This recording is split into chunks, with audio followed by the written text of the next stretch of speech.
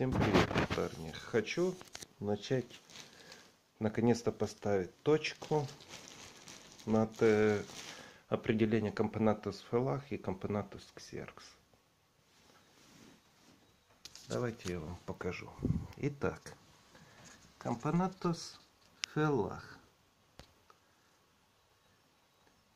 Э, крупный вид аномерик с подчеркнутой наземной скульптурой ля-ля-ля, и призматической задней части, которая снабжена снизу рядом щетин. Компонатус фелах похож на компонатус ксеркс, торакикус и оазим, от которых он отличается наличием стоящих щетинок на вентральной поверхности головы.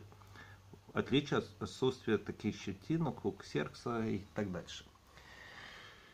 Много я в интернете смотрел и начинают эти щетинки искать на голове. Здесь я в интернете. Если вдруг есть волоски, это филах. Если нет, это ксеркс. Но смотрите, вы видите здесь волоски? Нет. Вентральная часть. Вентральная часть даже не снизу, а с другой стороны – у человека, как говорится, это подбородок, вентральная часть. Вентральная часть головы у человека подбородок. Теперь смотрим э, ксеркса. Так, это филах. Королева ксеркса. Вот вентральная часть снизу. Вначале есть маленькие волоски. Здесь нет. Это вентральная часть головы. Это образец у меня компонатус филах от Олега. Сейчас мы посмотрим. Есть подбородку волоски.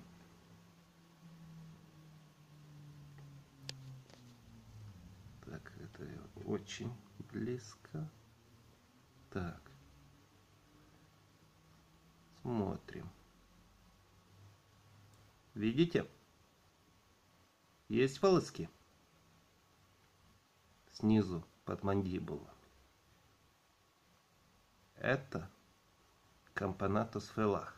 У ксеркса этих волосков нет. Видите волоски?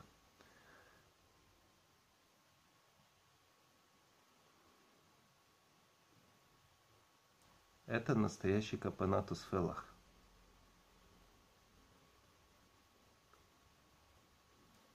Сейчас настрою лучше. Вот.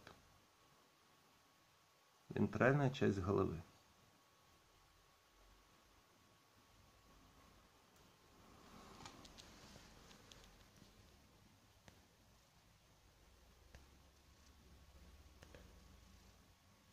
Теперь можно и закрыть тему, как определять фелаха и ксеркса. Всем пока.